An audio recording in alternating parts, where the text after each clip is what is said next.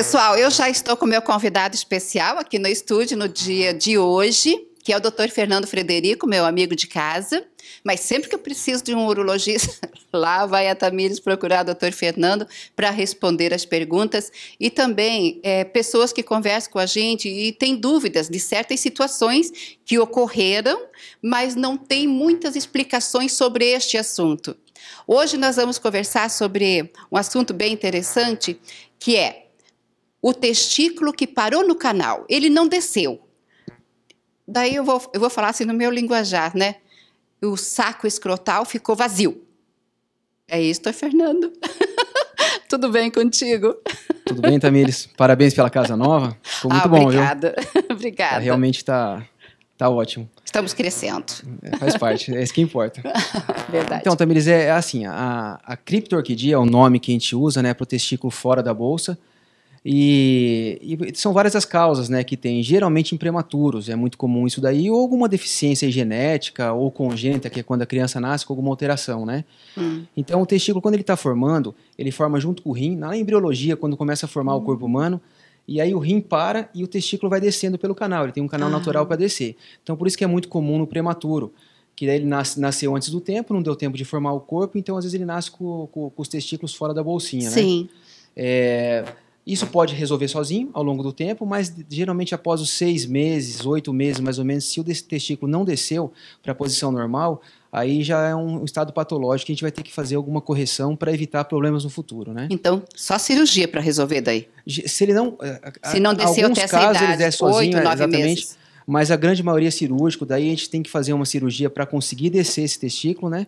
Para evitar que ele sofra um, um processo aí de alteração da temperatura ou uma isquemia que leve à atrofia dele e, e pode perder o testículo no futuro. Olha só, gente, interessante. Agora é comum tudo isso? É relativamente comum, viu, Tamires? É, como eu falei, o mais comum é o prematuro, né? Hoje em dia, como melhorou muito as condições de UTI que a gente tem, então os partos, às vezes os partos de urgência são prematuros, então muitas crianças estão tendo essa enfermidade aí, né? Aí como estão sobrevivendo mais à medicina de hoje, então é mais comum a gente encontrar isso daí no consultório depois, né? A gente uma avaliação depois futura e pegar essa, essa criança com, com essa enfermidade, né?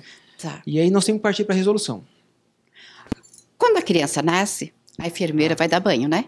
Ela que dá o primeiro banho, que nem sei se é dado banho ou só limpa a criança, né, doutor? As coisas mudam tanto, né? Já, eu já, meu, meu bebê já estaria com 40 anos hoje. Mas ela, ela dá o banho. Ela examina a criança, tudo, o, o menininho, quando nasce, ela já percebe que não, que não tem o testículo, alguma coisa assim?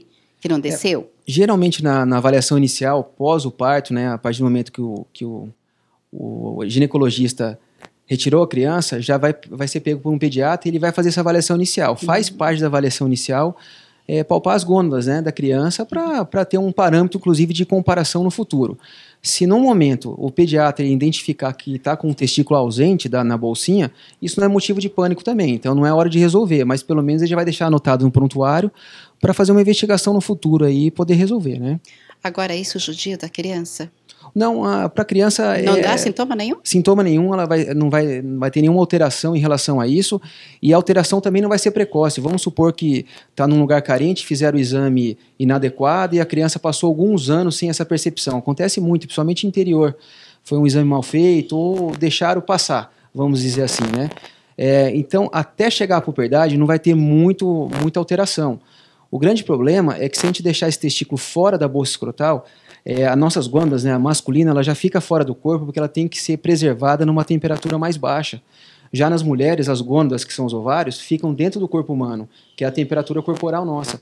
Então, se esse testículo está fora da bolsa escrotal, ou ele está no canal inguinal, que é a trajetória aqui que ele pode estar descendo, ou ele está, é um testículo que a gente chama não palpável, ele está dentro do abdômen, ou seja, a temperatura é muito alta. Então, esse testículo, inevitavelmente, vai ser atrofiado por causa da Vai temperatura sofrer, né? vai sofrer. Então, se a gente resolver muito tarde, a criança pode ficar estéril no futuro ou pode ter problemas em relação à parte hormonal.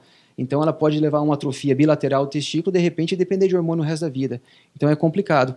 Outro fator importante, o testículo criptorquídeo, né, que é o que está fora da, da, da bolsinha, ele não vai necessariamente levar ao câncer de testículo, mas é, por alterações aí genéticas, alterações da temperatura, se desenvolver um câncer, esse testículo está fora. Então a pessoa não consegue fazer o autoexame. Então a gente descobre muito tardiamente um tumor. Então de vez em quando a gente pega alguns pacientes jovens que já estão com uma massa no abdômen grande já e o tumor, a origem era o testículo. E a gente não conseguiu identificar porque estava fora do lugar, não, não se pensou nisso. Então, a manifestação do tumor, a descoberta do tumor pode ser mais tardia. Já é um tumor agressivo. Se a gente descobrir mais tarde, menor chance de cura. Aí só, viu, gente? Que dica importante. Nascem meninos com testículos só? Pode, pode acontecer. Existem duas coisas que, é, duas é, situações. O testículo não palpável, ele pode estar tá escondidinho dentro do abdômen, que ele não deu tempo de ir para a região inguinal, ou ele está ausente. Então, quando o testículo é não palpável, a gente vai ter que fazer uma investigação. Geralmente é cirúrgica também a investigação. A gente vai entrar com uma câmera dentro da barriga da criança e vai identificar se existe o testículo lá. Se existe, a gente vai tentar ver a, a qualidade dele, né, se ele não está muito atrofiado ou não. E a partir do momento que ele está viável, nós vamos te tentar colocar ele de volta na posição de origem, que seria a bolsa escrotal. Ou pode acontecer de a gente entrar no, no abdômen da criança e ver que não tem testículo. É um, é, é um paciente que nasceu sem esse testículo. Então, aí paciência, resolveu o problema, descobriu que não tem, então a gente evita esses riscos no futuro de um tumor, alguma coisa assim, e aí vai viver com outro testículo normalmente, sem problema nenhum. Agora, ah, voltando ali na, na, na cirurgia, essa cirurgia, doutor, é, é de corte? É, depende da posição, Tamiris. É, hoje em dia, o famoso laser que todo mundo fala, né? Vou fazer cirurgia por laser. Na verdade, não é uma cirurgia laser, né? Aquela cirurgia, a videolaparoscopia. A gente vai fazer alguns pequenos furos no abdômen do paciente, vai entrar com uma câmera e com umas pinças auxiliares, né? Para poder resolver. Quando o testículo está dentro do abdômen, que é aquele que não estava palpável, está dentro do abdômen, a gente faz a laparoscopia. Então a gente consegue é, ir trabalhando lá dentro do abdômen, descobrir onde está o testículo e depois posicionar ele na, na, região inguinal ou às vezes direto na bolsinha escrotal. Já quando o testículo ele nasce quase na trajetória, quase lá na bolsinha escrotal e está aqui na região inguinal, tem que fazer sim um corte. A gente faz um pequeno corte, como se fosse aquele da hérnia, e a gente vai resolver, né, conseguir liberar o testículo, que ele está sempre com algumas aderências, e a gente vai descer ele para a bolsinha escrotal e, posicionar ele adequadamente. Agora, a cirurgia, às vezes tá, os, os dois não desceram, né? Eles estão lá no canal, né? Não, com preguiça de, de descer. Essa cirurgia, doutor, é feito resolve o assunto numa cirurgia só, ou tem que fazer de um testículo primeiro e depois se faz de outro por ser um bebê? É, vai depender muito da, principalmente da, da experiência do cirurgião, né, da prática dele. Em geral, a gente tenta resolver tu, tudo de uma vez só. Porque quanto mais precoce é uma anestesia só que você vai fazer, e quanto mais precoce, hoje em dia, para você ter uma ideia, Tamiris, na época que eu me formei, fiz urologia, lá a gente resolvia mais ou menos com uns dois anos, a gente pensava em operar. Hoje, com nove meses, é indicação cirúrgica, cada vez mais precoce, para a gente evitar perdas de célula germinativa, que é a célula ah. do testículo. Então, quanto antes a gente conseguir resolver, melhor para o futuro da criança, né? Então, se for possível, no primeiro momento a gente resolve os dois. Já faz a cirurgia bilateral já e resolve a situação, né? Às vezes o testículo está um pouco alto, ele está na região inguinal ou está dentro do abdômen, que eu não consigo, num momento só, resolver a cirurgia. Aí eu tenho que posicionar ele sempre seguindo o caminho. Então, se está no abdômen, eu vou tentar liberar esse testículo e jogar para a região inguinal, e seis meses depois eu vou jogar para a região da bolsa escrotal. Porque se a gente tenta resolver tudo uma vez só e está muito tenso o testículo, ele tem uma irrigação, que são os vasos que vão nutrir ele.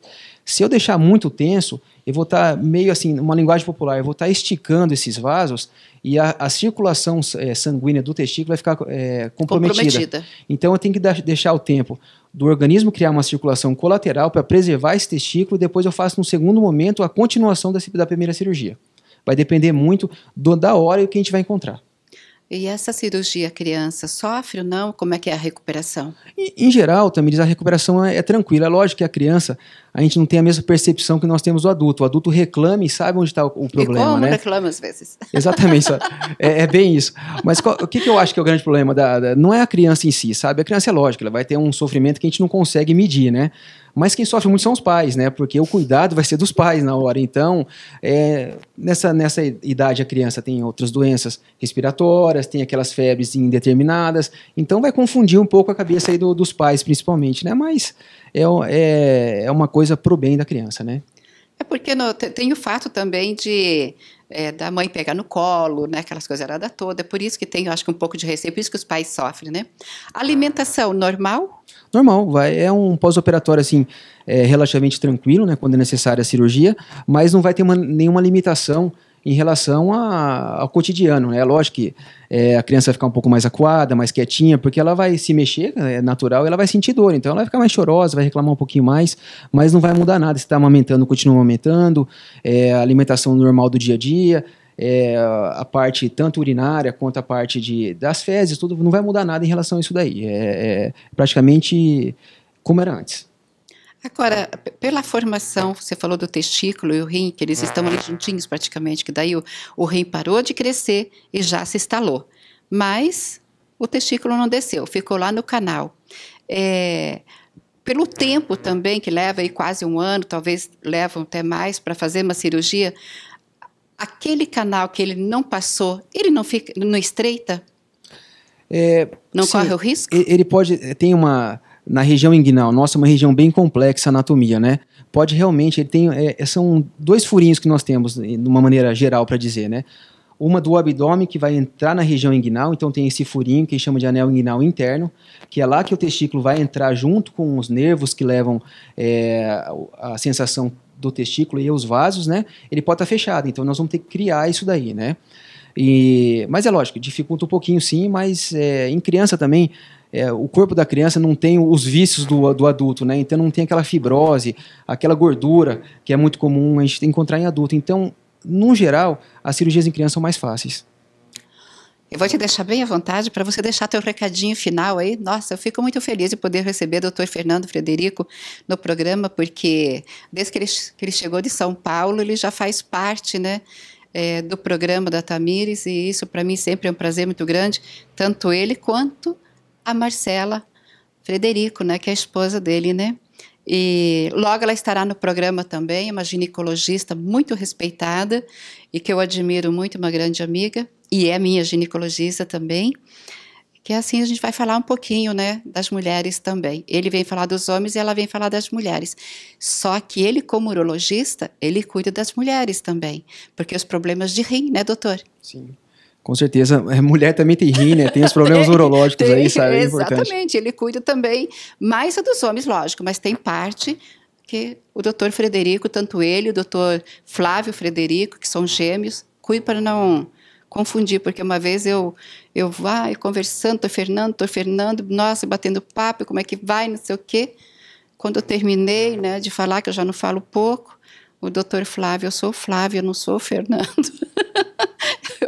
o que, que vocês têm de diferente hoje? Alguém, qual que está de barba? Uma que... vez o Flávio deixou barba para ficar diferente. Com a pandemia ele tirou a dele também, sabe? Então, aí complicou um pouquinho, né? Mas eles são bem parecidos. Mas fique à vontade, doutor.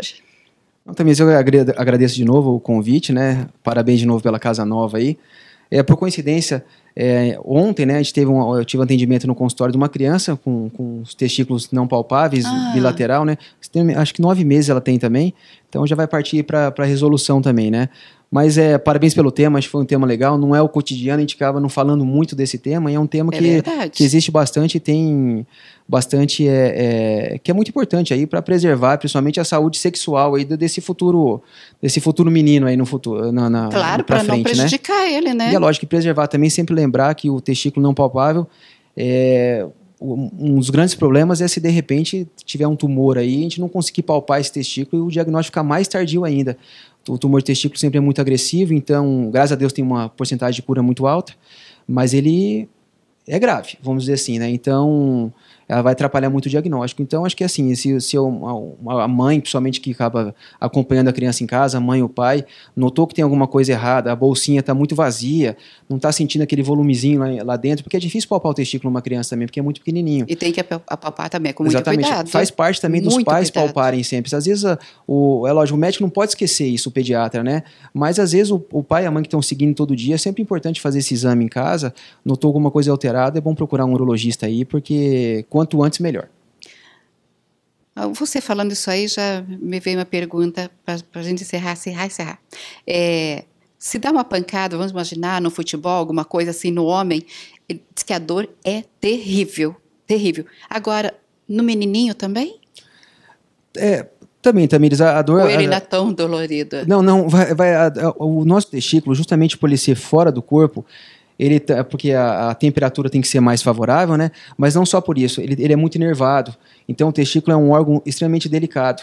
É, talvez para a preservação mesmo da, da produção de testosterona, tudo, então, por algum motivo aí ele tem essa inervação mais acerbada. E realmente, quando a gente leva uma bolada, o famoso bolada no saco aí que a gente é fala, né? verdade. né? Não é tanto o testículo que dói, dói a barriga. Justamente por isso, o testículo ele nasce na barriga. E a inervação dele, ele vem em direção à barriga. Então, sempre quando alguém reclama, nossa, levei aquela bolada, mas dói a barriga demais, realmente. E assim também, como a pessoa tem cólica no rim, ela fala, nossa, minha, parece que a dor desceu lá para a região do da, ou da genitália feminina ou da região escrotal mesmo do, do, do, do, homem. Justamente por isso, a embriologia, né, são formados um do lado do outro, tanto o rim quanto o, o, os testículos. Então tem essa bagunça aí né, nos sintomas, sabe? Mas dói, viu? Eu vou, vou falar a verdade que dói. então, quando for dar banho no seu bebê, o papai, a mamãe, que às vezes, né, por ser menininho, o pai que quer dar banho, aquela coisa errada toda, bom, ele já vai saber que dói mesmo, então ele vai papar com cuidado. Agora a mamãe cuida, então, né, principalmente as mãezinhas de primeira viagem.